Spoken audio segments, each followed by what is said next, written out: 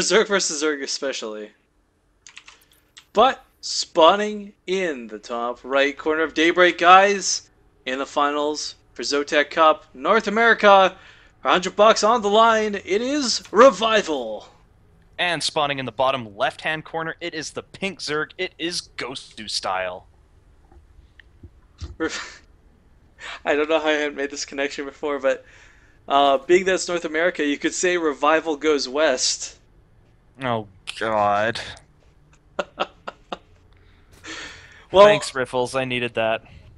there's three stages to ZVZ, as we've discussed multiple times in the past. We'll see uh, if this kind of skips phase one, you know, Zergling Baneling goes to Roach, Infestor, or if uh, we'll have some weird phase 2.5 again come out of Gosu style that uh, cuts out any form of late game units in the late game and just goes straight to Ultralisks. We'll see. Eh, yeah, Ultralisks are pretty good. Let's build some of those.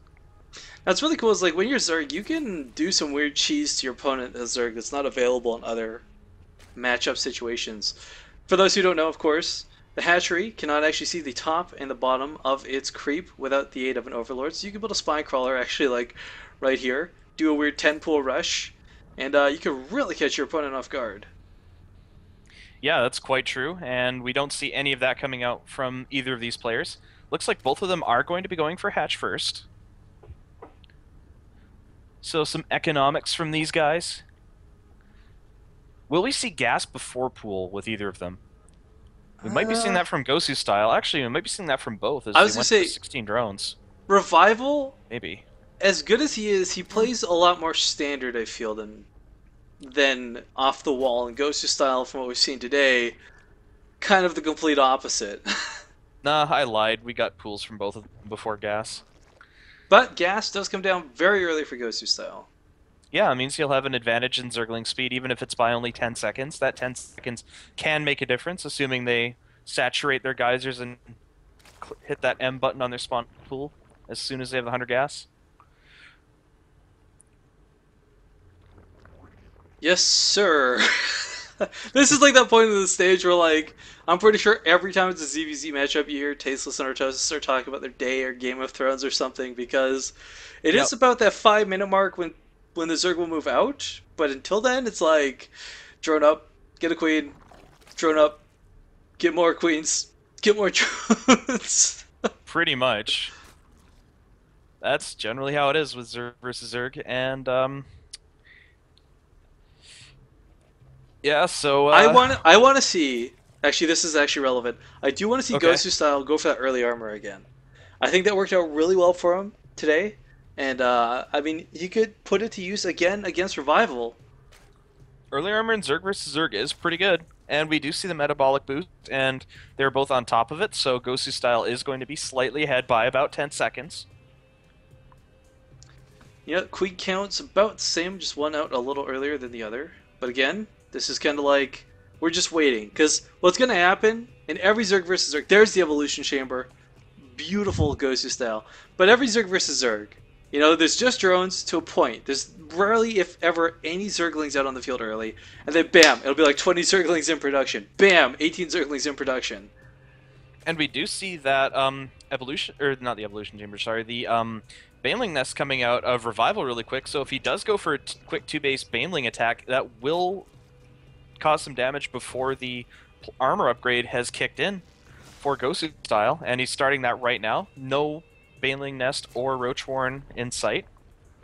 Well, I mean, his control of his Zerglings is actually very phenomenal, and I don't think a bunch of Banelings would actually shut him down entirely, with or without the uh, armor upgrade. He's just got the good control. But Yeah, yeah, you're absolutely right. It, it won't, but it it will put pressure on him and may inflict a lot of damage. And uh, Zergling's starting to move out across the field for revival. Gosu Style also producing his own Zerglings right now. I think he's got the timings of this stuff down pat, though. I mean, like, it's just perfect. Now, oh, he's just barely gonna miss this, and he doesn't have enough at home to defend right now, especially without a Baneling. That's the thing when you're against a Korean like Revival, like these guys have their timings down really, really well. He only just barely missed that too. If he had left his own base like a second, if if that later, he would have sought all this. He would not have lost the queen. He hasn't lost too many workers though, so I mean, not that big of a deal. Just the queen. That does That's hurt larva. damage. Yeah, it hurts larva production. And we see a much quicker lair coming out of Revival. It's just about to finish, so we'll see the next phase of his game. We do see four gases, so it could be either Infestors or Mutalisks, but I feel we will see some type of Tier 2 tech out of him. And uh, Gosu style go for that range alongside the armor. Banelings are trying to catch up, but these Zerglings are a little too fast. They should be able to hit a couple Zerglings and then, or uh, workers and get out. A lot of them. Oh, going straight for the Queen. Will the Banelings get there in time? It's going to be close. He does save the gets- Queen. Saves the Queen. God save the Queen. Well, that plus one armor, if that plus one armor was still there, might have been able to get that Queen. But uh, it's only just kicking in any second now. Yep, Revival's going for his missile attacks. There's the Infestation Pit, so we'll see Roach Infestor out of him. Pretty standard. What will Gosu style do? His lair is just finishing up, and we do see Roaches with upgrades. Yeah, the tech's going to be a nice advantage, but the blanket AoE damage that Fungal provides is just. You can't match that with just upgrades. Ooh, Hydra's coming out of Gosu style. Okay.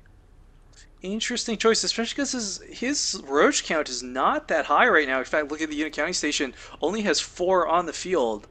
And we all know, like, straight Hydra does not beat straight Roach. Of course not. Hydras are kind of like basically Protoss units in the Death Ball that aren't Zealots, and- when there's no Zealots in front of the Death Ball, then the Death Ball melts, and that's what Hydras are. Yeah, Hydras have, like, crazy crackhead damage, but they don't have a heal- they do not have a health pool. You need the Roaches to protect the Hydralisks. Well, we get some Remember when- Zerglings running into the third. He should actually be able to force a cancel or at least a reaction out of Gosu style. You Which will should, you're be? right. And here come the roaches. Will he be able to save it? He might. There aren't, there aren't that many Zerglings. Yeah, this will save no problem, but unfortunately it's going to be low when it finishes, so Revival could come in here later on with the secondary force and finish it off. Yep, and these lings just dart into the main, so they're going to get a full scout. These are very effective lings. should Actually- seen the Hydra Den from that. They might also pick off a drone or two, yes! Kills two drones, it looks like.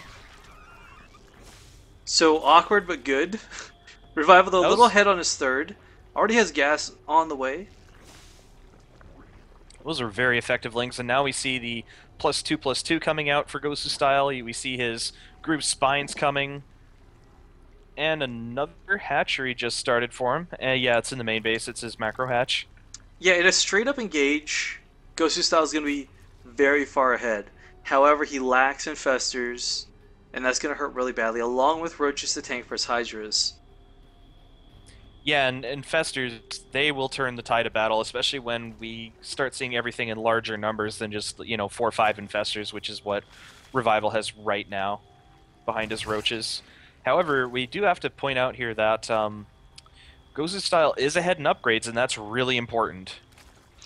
Yeah, the armor is actually going to play a huge deal, especially when dealing with the infested Terrans that come out of these infestors. Now, I believe I was actually told this recently. I did not know this. The uh, infested Terrans apparently get plus two per upgrade. So three Um, upgrades will give them plus six. Oh, really? I've never, I haven't really clicked on an infested Terran in a while, just to look at them because they don't live too long, and there's so many of them. Usually, you're focused on something else, but yeah. You It focus depends on what how much killing. damage they deal per shot, is what it is. If they deal a certain amount of damage per shot, then they get plus two. I think it's is it above ten? I don't know offhand, but this hatchery is coming down, but it's gonna. It's risky and it's gonna be forced to cancel as uh, Revival's gonna show his roaches. He's got a really large count actually, 33. Gosu style with.